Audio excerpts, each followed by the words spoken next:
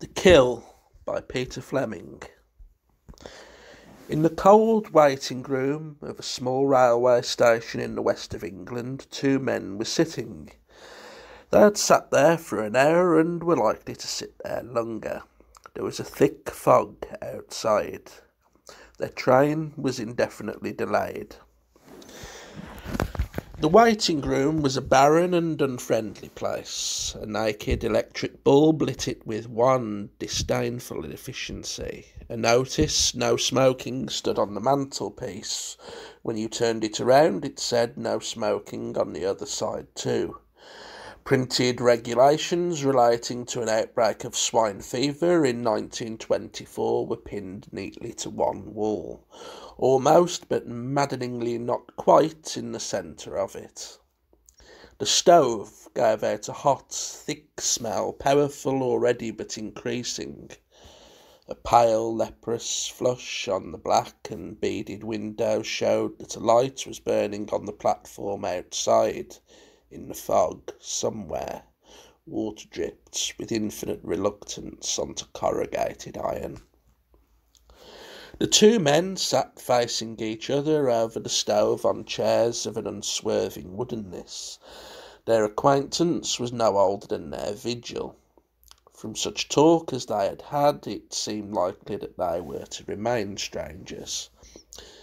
The younger of the two resented the lack of contact in their relationship more than the lack of comfort in their surroundings. His attitude toward his fellow beings had but recently undergone a transition from the subjective to the objective. As with many of his class and age, the routine, and recognised as such, of an expensive education with the triennial alternative of those delights normal to wealth and gentility, had atrophied many of his curiosities. For the first twenty odd years of his life, he had read humanity in terms of relevance rather than reality, looking on people who held no ordained place in his own existence, much as a buck in a park watches visitors walking up the drive, mildly, rather resentfully inquiring, not inquisitive. Now hot in reaction from his unconscious provincialism, he treated mankind as a museum, gaping conscientiously at each fresh exhibit, hunting for the non cumulative evidence of man's complexity with indiscriminate zeal. To each magic circle of individuality he saw himself as a kind of freelance tangent. He aspired to be a connoisseur of men. There was undoubtedly something arresting about the specimen before him. Of less than medium height, the stranger had yet that sort of ranging leanness that lends vicarious inches. He wore a long black overcoat, very shabby, and his shoes were covered with mud. His face had no colour in it. No, the impression it produced was not one of pallor. The skin was of a dark sallow tinged with grey. The nose was pointed, the jaw sharp and narrow. Deep vertical wrinkles running down toward it from the high cheekbones sketched the permanent groundwork of a broader smile than the deep set honey coloured eyes seemed likely to authorise. The most striking thing about the face was the incongruity of its frame. On the back of his head the stranger wore a bowler hat with a very narrow brim. No word of such casual implications as a tilt did justice to its angle. It was clamped by something at least as wholly as custom to the back of his skull, and that thin, questing face confronted the world fiercely from under a black halo of nonchalance. The man's whole appearance suggested difference rather than aloofness. The unnatural way he wore his hat had the significance of indirect comments, like the antics of a performing animal. It was as if he was part of some older thing of which Homo sapiens in a bowler hat was an expurgated edition. He sat with his shoulders hunched and his hands thrust into his overcoat pockets. The hint of discomfort in his attitude seemed due not so much to the fact that his chair was hard as to the fact that it was a chair. The young man had found him uncommunicative, the most mobile sympathy, launching consecutive attacks on different fronts, had failed to draw him out. The reserved adequacy of his replies conveyed a rebuff more effectively than sheer surliness. Except to answer him, he did not look at the young man. When he did, his eyes were full of an abstracted amusement. Sometimes he smiled, but for no immediate cause.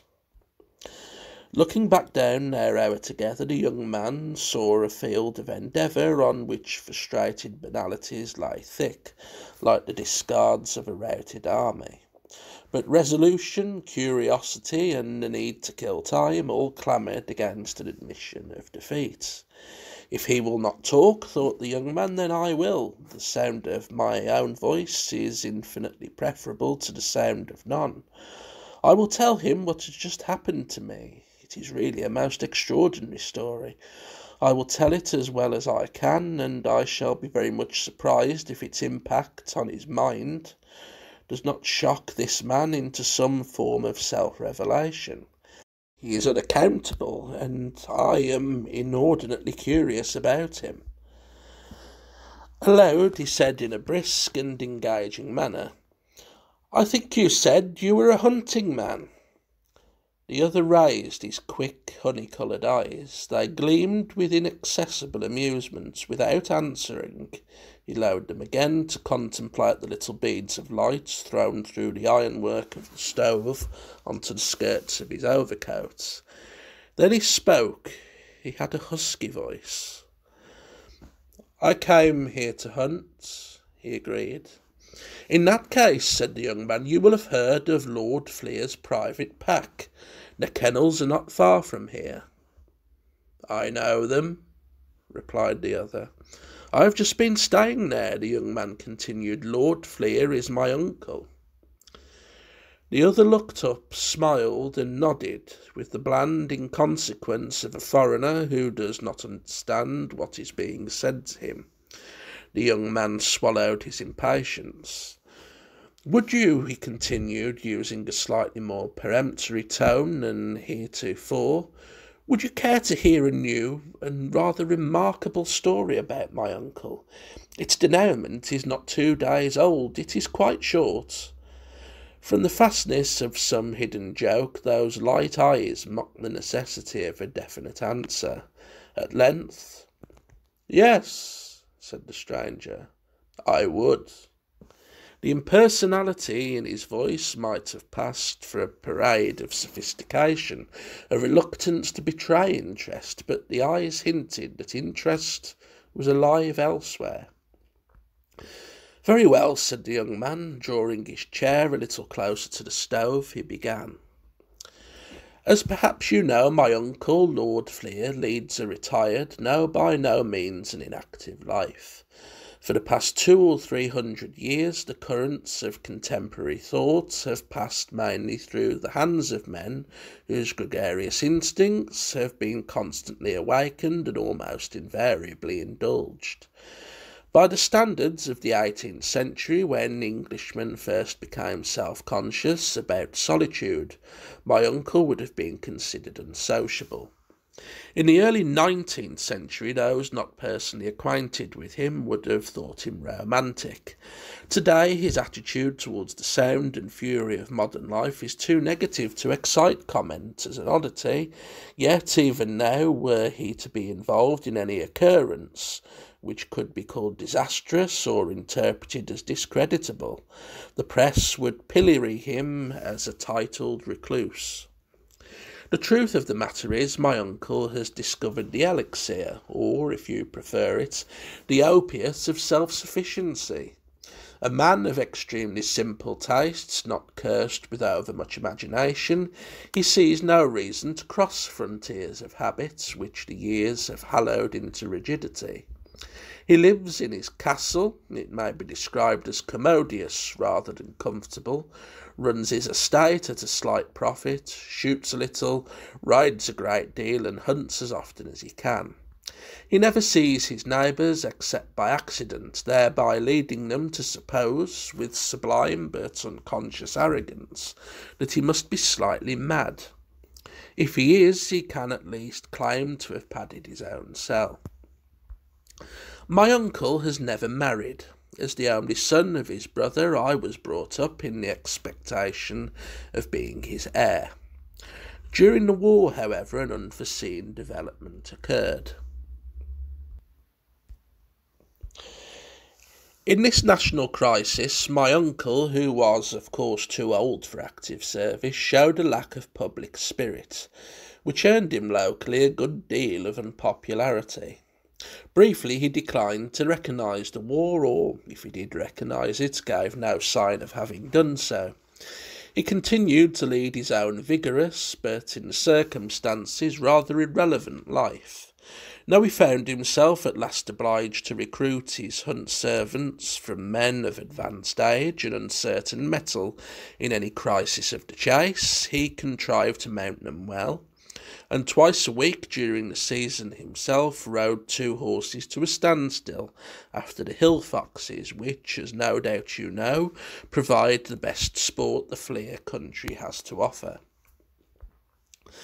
When the local gentry came and made representations to him, saying that it was time he did something for the country besides destroying its vermin by the most unreliable and expensive method ever devised, my uncle was very sensible.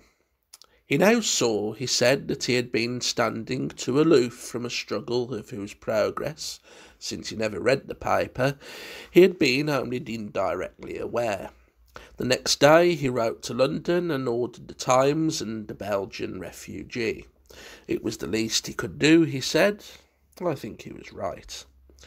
The Belgian refugee turned out to be a female and dumb. Whether one or both of these characteristics had been stipulated for by my uncle, nobody knew. At any rate, she took up her quarters at Fleer. A heavy, unattractive girl of twenty five with a shiny face and small black hairs on the backs of her hands. Her life appeared to be modelled on that of the larger ruminants, except, of course, that the greater part of it took place indoors. She ate a great deal, slept with a will, and had a bath every Sunday, remitting this salubrious custom only when the housekeeper who enforced it was away on her holiday. Much of her time she spent sitting on a sofa on the landing outside her bedroom, with Prescott's Conquest of Mexico open on her lap. She read either exceptionally slowly or not at all, for to my knowledge she carried the first volume about with her for eleven years. Hers, I think, was the contemplative type of mind. The curious, and from my point of view the unfortunate aspect of my uncle's patriotic gesture was the gradually increasing affection with which he came to regard this unlovable creature.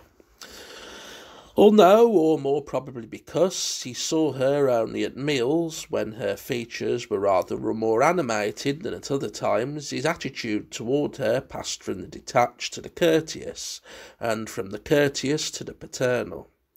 At the end of the war, there was no question of her return to Belgium, and one day in 1919 I heard with pardonable mortification that my uncle had legally adopted her and was altering his will in her favour.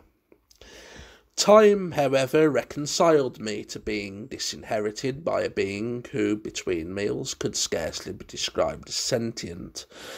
I continued to pay an annual visit to Fleer and to ride with my uncle after his big boned Welsh hounds over the sullen dark grey hill country, in which, since its possession was no longer assured to me, I now began to see a powerful though elusive beauty.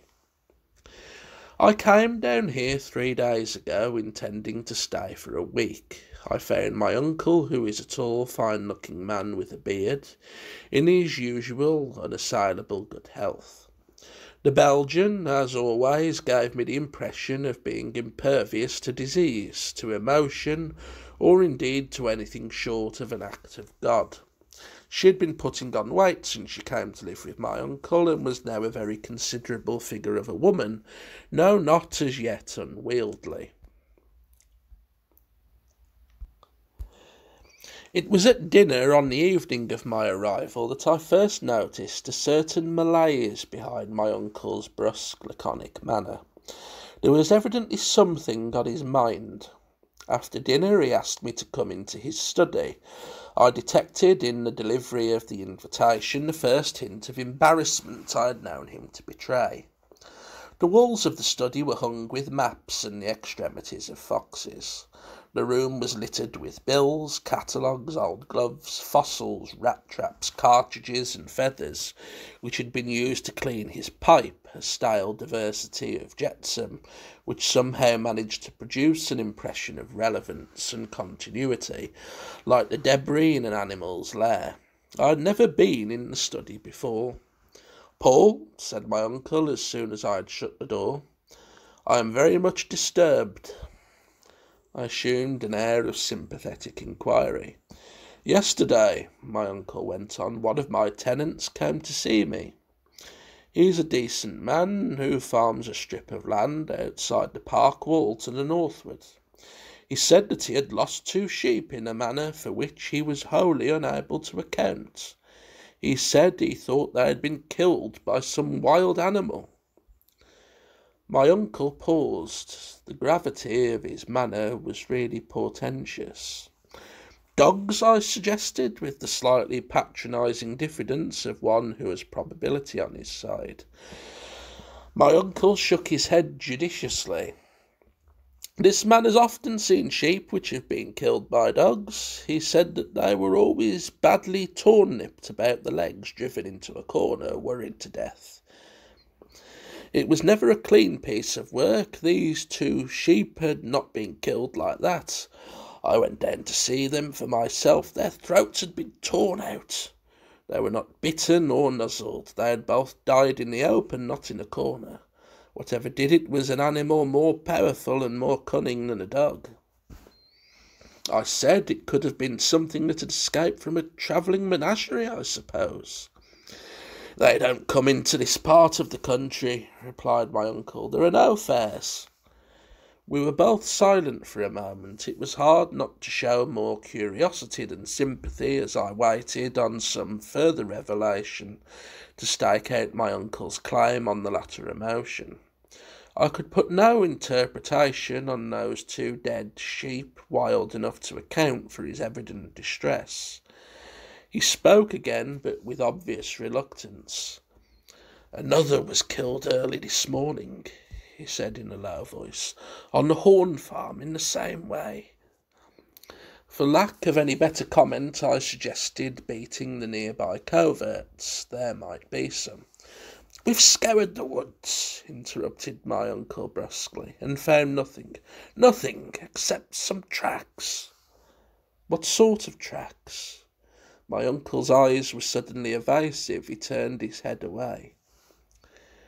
They were a man's tracks, he said slowly. A log fell over in the fireplace. Again a silence. The interview appeared to be causing him pain rather than relief. I decided that the situation could lose nothing through the frank expression of my curiosity. Plucking up courage, I asked him roundly what cause he had to be upset. Three sheep, the property of his tenants, had died deaths which, now certainly unusual, were unlikely to remain for long mysterious. Their destroyer, whatever it was, would inevitably be caught, killed, or driven away in the course of the next few days. The loss of another sheep or two was the worst he had to fear. When I had finished, my uncle gave me an anxious, almost a guilty look. I was suddenly aware that he had a confession to make. Sit down, he said. I wish to tell you something. This is what he told me. A quarter of a century ago, my uncle had had occasion to engage a new housekeeper. With the blend of fatalism and sloth, which is the foundation of the bachelor's attitude to the servant problem, he took on the first applicant. She was a tall, black, slant eyed woman from the Welsh border, aged about thirty. My uncle said nothing about her character, but described her as having powers. When she had been at Fleer some months, my uncle began to notice her instead of taking her for granted. She was not averse to being noticed. One day she came and told my uncle that she was with child by him. He took it calmly enough till he found that she expected him to marry her or pretend to expect it. Then he flew into a rage, called her a whore, and told her she must leave the house as soon as the child was born. Instead of breaking down or continuing the scene, she began to croon to herself in Welsh, looking at him sideways with a certain amusement. This frightened him. He forbade her to come near him again, had her things moved into an unused wing of the castle, and engaged another housekeeper. A child was born, and I came and told my uncle that the woman was going to die. She asked for him continually, they said, as much frightened as distressed. He went through passages long unfamiliar to her room. When the woman saw him, she began to gabble in a preoccupied kind of way, looking at him all the time as if she were repeating a lesson. Then she stopped and asked that he should be shown the child. It was a boy. The midwife, my uncle noticed, handled it with a reluctance almost amounting to disgust. That is your heir, said the dying woman in a harsh and stable voice. I have told him what he is to do. He will be a good son to me and jealous of his birthright and she went off, my uncle said, into a wild yet cogent rigmarole about a curse embodied in the child, which would fall on any whom he made his heir over the bastard's head. At last her voice trailed away, and she fell back exhausted and staring. As my uncle turned to go, the midwife whispered to him to look at the child's hands. Gently unclasping the podgy, futile little fist, she showed him that on each hand the third finger was longer than the second. Here I interrupted. The story had a certain queer force behind it, perhaps from its obvious effect on the teller. My uncle feared and hated the things he was saying. What did that mean? I asked. The third finger longer than the second. It took me a long time to discover, replied my uncle. My own servants, when they saw I did not know, would not tell me. But at last I found out through the doctor, who had it from an old woman in the village. People born with their third finger longer than their second become werewolves. At least he made a perfunctory effort at amused indulgence. That is what the common people here think. And what does that, what is that supposed to mean? I too found myself throwing rather hasty sops to scepticism. I was growing strangely credulous.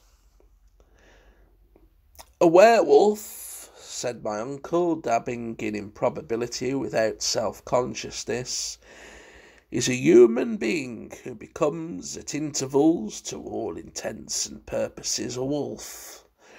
The transformation, or the supposed transformation, takes place at night. The werewolf kills men and animals and is supposed to drink their blood.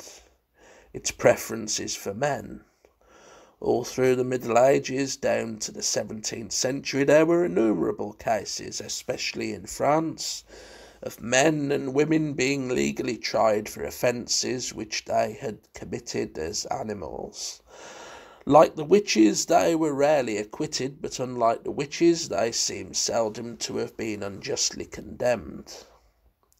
My uncle paused.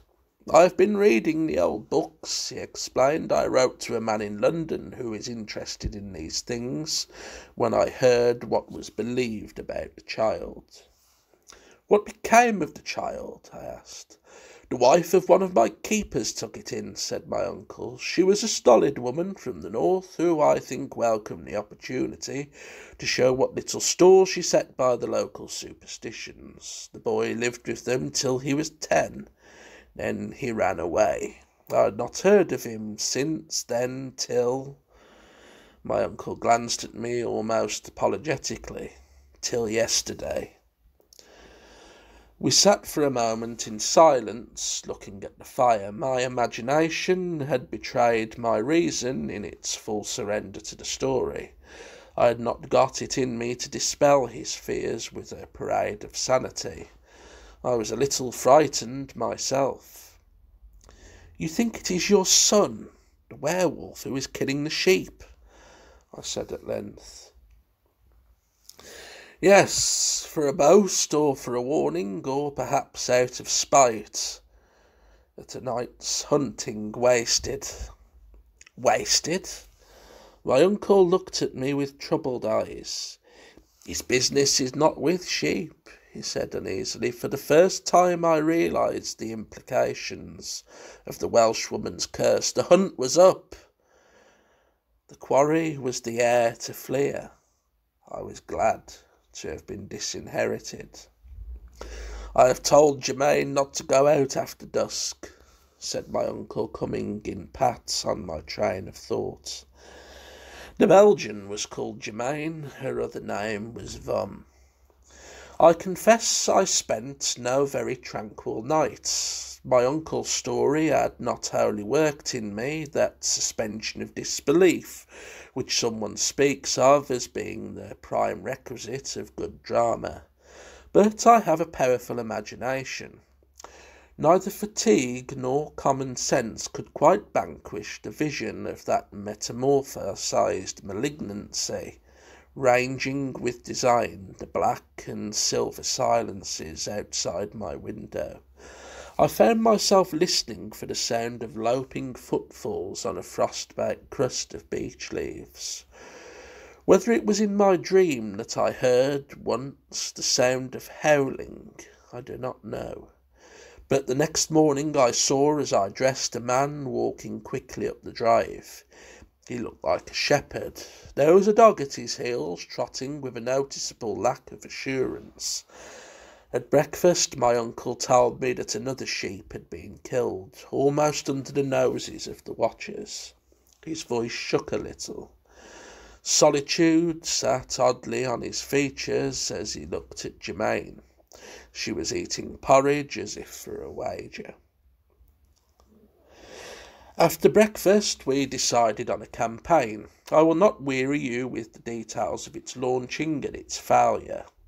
All day we quartered the woods with thirty men, mounted and on foot. Near the scene of the kill, our dogs picked up a scent, which they followed for two miles and more, only to lose it on the railway line. But the ground was too hard for tracks, and the men said it could only have been a fox or a polecat, so surely and readily did the dogs follow it. The exercise and the occupation were good for our nerves, but late in the afternoon my uncle grew anxious. Twilight was closing in swiftly under a sky heavy with clouds, and we were some distance from Fleer. He gave final instructions for the penning of the sheep by night, and we turned our horses' heads for home. We approached the castle by the back drive, which was little used, a dank, unholy alley running the gauntlet of a belt of firs and laurels. Beneath our horses' hoofs, flints chinked remotely under a thick carpet of moss. Each consecutive cloud from their nostrils hung with an air of permanency, as if bequeathed to the unmoving air. We were perhaps three hundred yards from the tall gates leading to the stable yard when both horses stopped dead simultaneously. Their heads were turned toward the trees on our right, beyond which I knew the sweep of the main drive converged on ours. My uncle gave a short, inarticulate cry in which premonition stood aghast at the scene. At the same moment something howled on the other side of the trees. There was relish and a kind of sobbing laughter in that hateful sound. It rose and fell luxuriously, and rose and fell again, fouling the night. Then it died away, fawning on satiety in a throaty whimper. The forces of silence fell unavailingly on its rear, its filthy echoes still went reeling through our heads. We were aware that feet were loping lightly down the iron hard drive. Two feet. My uncle flung himself off his horse and dashed through the trees. I followed. We scrambled down a bank and out into the open. The only figure in sight was motionless. Germaine Vom lay doubled up in the drive, a solid black mark against the shifting values of the dusk. We ran forward. To me, she had always been an improbable cipher rather than a real person. I could not help reflecting that she died as she had lived in the livestock tradition. Her throat had been torn out.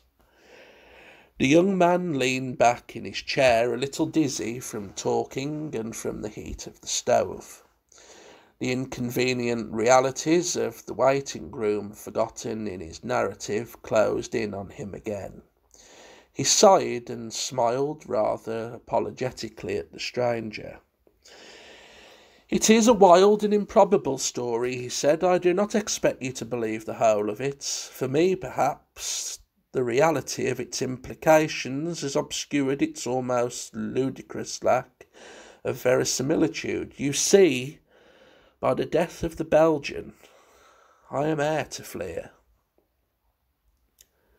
The stranger smiled, a slow but no longer an abstracted smile. His honey coloured eyes were bright. Under his long black overcoat, his body seemed to be stretching itself in sensual anticipation. He rose silently to his feet. The other found a sharp, cold fear drilling into his vitals.